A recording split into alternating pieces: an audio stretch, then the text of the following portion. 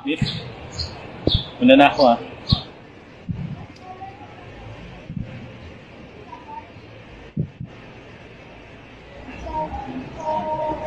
Miss, una na talaga ako ah.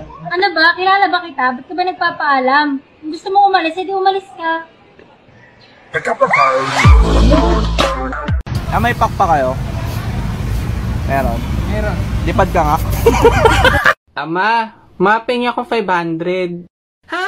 Anong 400? Ang laki naman ng 300. Anong gagawin mo sa 200? Akala mo madaling kumita ng 100? 50 nga nahirapan ako eh, 20 pa kaya? Buti may 10 ako dito, ito lima.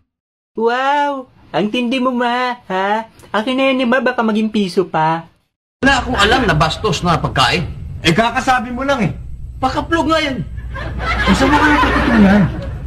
Yan ang nakikita ko sa mga tindahan. Di ba marami dyan tapsilog, tapas, sinangag itlog. O Oh. long silog, longganisa, sinangag itlog. Oh, alam ko O yan. yan, dahil wala tayong pera, yan ang atin, pakaplog. Paano ka naging pakaplog yan? Pandesal, kape, itlog, pakaplog.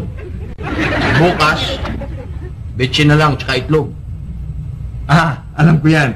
Be, Ito! Ano ba problema mo? Tila ho, siraan tiyan ko. Siraan tiyan mo? Bakit? Kahapon oh, naparami kain ko ng kanin. Mhm. Kanin din yung tinay ko. Mhm. Kanina naman oh, naparami kain ko ng mais. Mhm. Nung tumaya ko, mais din yung tinay ko. Eh, ano pa gusto mo itae? Yung natural na tayo lang. O, edi kumain ka ng tae. Hmm?